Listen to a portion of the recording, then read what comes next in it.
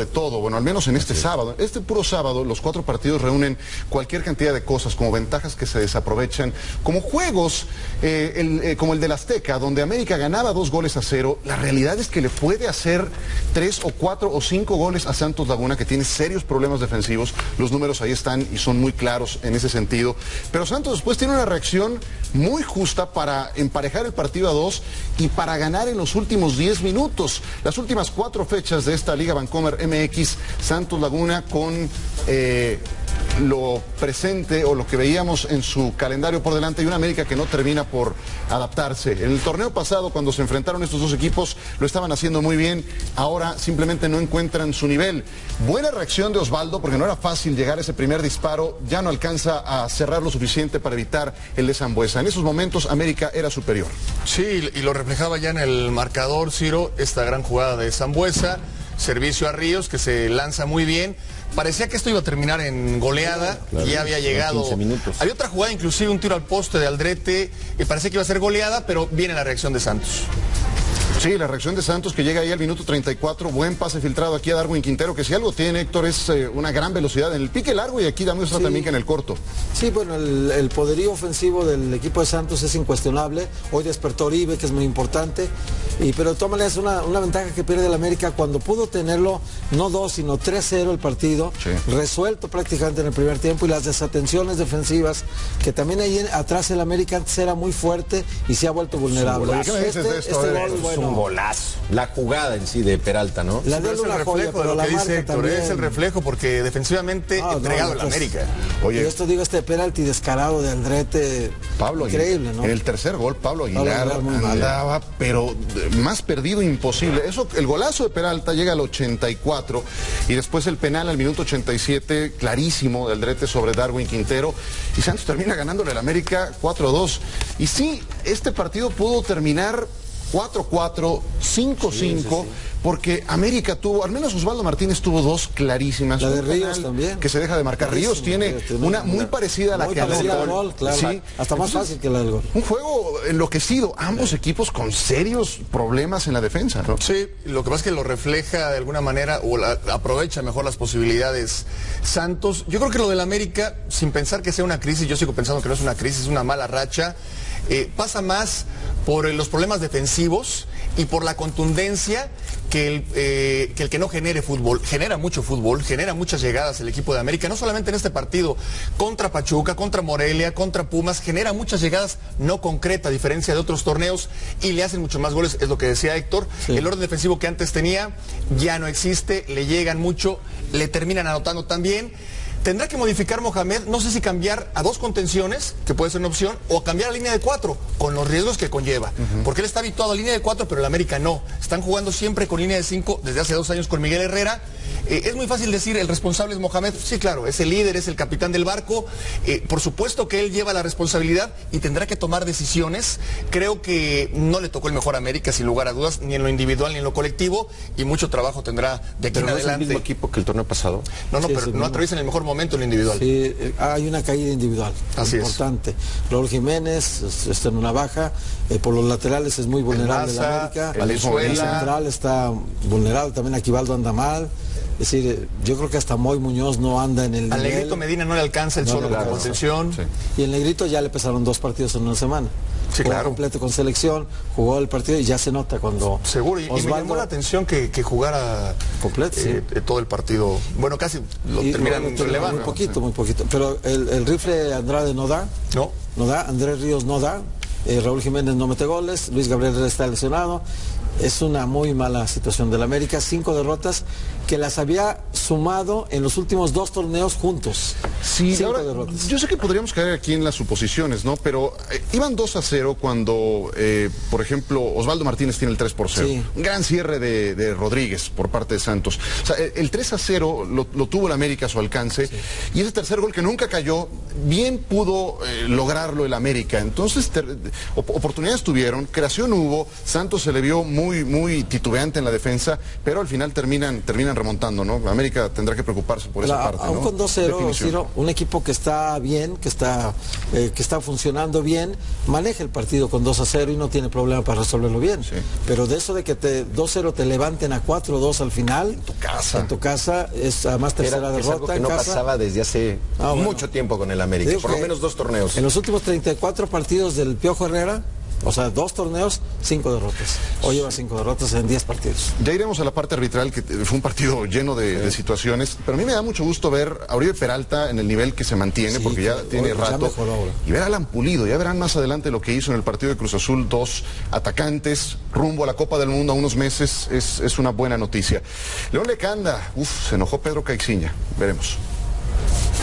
América sufrió su tercera derrota consecutiva en casa en la Liga MX tras perder una ventaja de dos goles al minuto 10 y terminar cayendo 4 por 2 ante Santos Laguna esta tarde en el Estadio Azteca. Las Águilas no recibían cuatro goles en el torneo mexicano desde la apertura 2005 ante Tigres. Pese a sumar su primera victoria como visitante, el técnico Pedro Caixinha cargó contra los medios de comunicación, mientras que el auxiliar del suspendido Antonio Mohamed, Gustavo Lema, aseguró que esto no es todavía una crisis para su equipo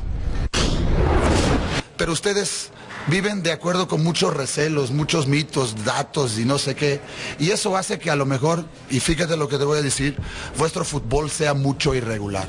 El tema es saber filtrar lo que es ese mensaje. Y si tú quieres, si tú, fíjate bien, si tú quieres valorar nuestra victoria en Azteca después de remontar de 2-0, y como tú dices, no haber ganado y terminar ganar de 4-2, entonces, si quieres que ellos piensen como tú estás pensando o que nosotros pensemos como tú estás pensando, estás muy engañado. hablen del partido, ganas 4-2, remotas y estás hablando una mano de Darwin Quintero. Por amor de Dios. Sí, hoy la verdad sí respiramos porque una derrota hubiera sido una catástrofe para nosotros después de haber perdido dos en forma consecutiva. Creo que, que por la forma, por el rival, por todo el entorno, eh, es una victoria muy buena y ojalá yo siguiera de aquí para arriba. Nos puede molestar a nosotros es no, cerrar un partido que, en el que teníamos una ventaja importante. Eh, lo de la localidad es una consecuencia del juego. Uno cuando analiza la estadística eh, pierde el análisis puntual de cada encuentro y hubo encuentros en los que perdimos en los que no merecíamos perder. Francisco El Maza Rodríguez no jugó debido a que regresó del duelo de la selección mexicana a media semana ante Nigeria con molestias en un tobillo, por lo cual el cuerpo técnico prefirió no arriesgarlo a una lesión mayor. En la Ciudad de México, León Lecanda, ESPN. Gracias, León Lecanda. Cuarto gol de Oribe Peralta contra el América jugando con Santos Laguna. Les eh, tiene en cierta forma tomada la medida, pero hoy Peralta, ese gol que anotó es de 24 quilates. A ver, tenemos una jugada táctica con Paco que veremos en un instante, pero antes, a ver, ¿a qué se refiere Pedro Caiciña con esas declaraciones de que hay mucho negativismo en torno a Santos Laguna? Yo se los pregunto porque yo creo que hoy gana bien Santos, merecidamente, porque a fin de cuentas es contundente y anota los goles. De que América generó, sí. También es cierto que Santos tiene problemas defensivos y no solamente por el juego de hoy, por lo que ha sido toda la campaña. ¿Pero a qué se refiere según No sé, yo les preguntaría, ¿dijo vuestro fútbol? Vuestro fútbol. O sea, no es de él, él es ajeno. Él, no está dentro de, nuestro fútbol. Ah, porque ya habló de los periodistas, que sacan muchas estadísticas y, y que no le gusta la forma de trabajar de los periodistas. Ya habló del sistema de competencia, ya habló de los directores técnicos, de cómo trabaja la selección. No ha ganado nada en México con todo respeto, no ha ganado absolutamente nada en México para que empiece a decir el decálogo de Caiciña. ¿Por qué el fútbol mexicano no funciona? Es que vuestro fútbol no funciona y es irregular por esto y esto. Habrá que fijarse más en su equipo y en el mismo fútbol portugués a nivel de clubes, que fuera del Porto no es tan regular como él supone, y después hablar de su equipo. No viene aquí a México a castigar y a regañar y a hablar y decir cosas sin fundamento. Yo tampoco sé a qué se refiere. Le habrán preguntado, ¿hubo una mano de Quintero? Le habrán preguntado, oye, ¿hubo algún mano a mano? ¿O América dio facilidades? Es el trabajo del periodista. ¿Cuál es el problema? Me parece que se equivoca el señor Caiciña. Bueno, tiene nueve goles en los últimos tres partidos. Yo como técnico estaría más preocupado por mi defensa que por el fútbol mexicano. Él no lo va a arreglar. O sea, ya tiene muchos años descompuesto y no lo va a arreglar él. O sea, y con lo que está mostrando en el equipo de Santos, con su peregrinar por el fútbol mexicano, que como dice Paco, no ha ganado absolutamente nada, o sea, ningún torneo ni de canicas. El Santos no ha sido campeón de nada con Caiciña y el Santos está acostumbrado a ser campeón de algo. O sea, con Benjamín Galindo fue campeón, con varios entrenadores que ha tenido y ya tenido una historia muy rica en muy poco tiempo el equipo de Santos. Y a él le encargaron que el equipo sea protagonista y que llegue a finales y que sea campeón.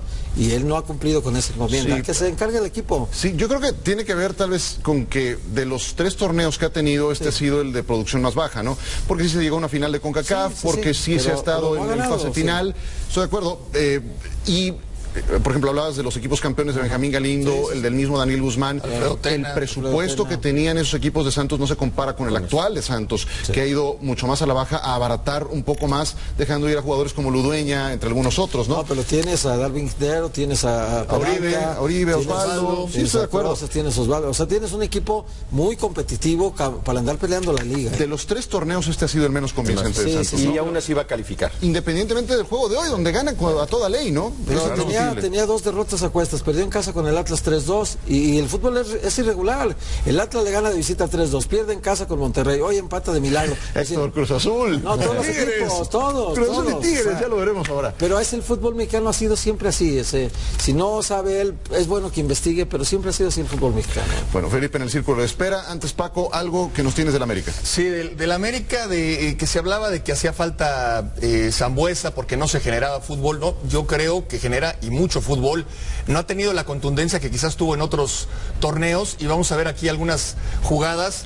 Esta, por ejemplo, primer minuto, bueno, minuto dos, la jugada de Aldrete que se estrella en el poste. Después, la que mencionaba Ciro, de Osvaldito, ya con el 2 a 1, iniciado el segundo tiempo, una jugada clara de gol. Esta de Ríos es clarísima. Increíble, increíble. Era el error de 3 a Osvaldo. 2. Sí, pero Ríos falló una similar contra Pachuca, ¿eh? Ojo, cuando el partido estaba 0-0, ahí se pudo resolver. Bueno, el conejo tuvo gran mérito, pero es una jugada muy clara. Y Luis Gabriel Rey contra Pumas, el partido empatado, tiene esta jugada que es clara de gol. Es decir, oportunidades sí tiene América, pero no ha tenido contundencia. En la defensiva tiene graves problemas. Aquí vamos a ver. Son tres jugadores de Santos entre seis del América. Vas ganando 2 a 0. En la lógica te dice que no van a hacer el, el gol. Y bueno, la jugada individual, pero también la complacencia de la defensiva termina generando el 2 a 1. Este es el gol que mencionábamos cuando vas 2 a 2. No hay nadie que le haga la cobertura en el mano a mano a Rentería con el Topo Valenzuela. Después Rentería saca un riflazo, quizás también Moy Muñoz tuvo algo que ver. Aquí es increíble. En el área no hay nadie. Hay dos jugadores de Santos recibiendo solo y después Oribe, entre Aldrete y Aguilar, hace una jugada que sabes que te la va a hacer. Esta jugada la tiene muy bien hecha y después define como los grandes. Es decir, por supuesto que el mérito de los jugadores de Santos, pero también la complacencia defensiva de América que se ha reflejado en la pobre cosecha que tiene hasta ahora el equipo de Mohamed. Sí, y mal hizo América en no capitalizar esos detalles defensivos que también indiscutiblemente tiene Santos. Y qué juego tan bravo para el señor Rojas, Felipe, en Sí, la parte arbitral difícil. también. Sí, bastante difícil, sobre todo porque empiezas con un error arbitral, que es un penal muy claro a favor de, de Santos, una falta de Zambuesa, que extrañamente Zambuesa cometa un, un penal, siendo que es un hombre de, de ataque. Vamos a ver las, la- el análisis de las jugadas que tenemos de, de Jorge Isaac Rojas, que ha sido de los árbitros que eh, está dirigiendo más, aunque no, no anda muy bien. Esto es un penal muy claro, muy claro al minuto 15, cuando el marcador iba 2-0 de eh, Zambuesa sobre Oribe Peralta, que no sancionan. Me parece que el árbitro asistente también podía participar un poco ahí apoyándolo. Esto, eh, lo comentaba con Ciro, esto no puede ser mano deliberada. Esta es una acertada decisión del árbitro. Ahí está el... eh, al- gol. Claro, y de ahí viene gol, que es lo, lo- lo más fuerte. Esto me parece que es fuera de juego. Se equivoca Por aquí. poquito, eh, pero por sí poco, pero es fuera de juego. Se equivoca el árbitro asistente. Y esto, bien el penal. Pero Aldrete tenía que salir de la cancha. Claro, pues, ya claro, estaba claro. amonestado. Es más, esta jugada es de tarjeta roja directa. Hay eh, entre buenas y No va malas. la pelota, ni siquiera va la pelota. Eh, Va exacto. Entre buenas y malas, pero hay decisiones que van Oye, también en el 2 a 2 hay una buena ley de la ventaja. También, eh, también. Bien aplicada. Sí, ¿no? por eso digo que hay buenas y malas decisiones. Cuando, cuando eh, Jorge Isaac empiece a un nivel ya alto, va a mejorar eh, demasiado, pero así cuando tiene altas y bajas en un partido, pues difícilmente se va a poder consagrar como árbitro de primera división. Por eso el fútbol mexicano es irregular, porque esos árbitros son También son irregulares. irregulares. Bueno,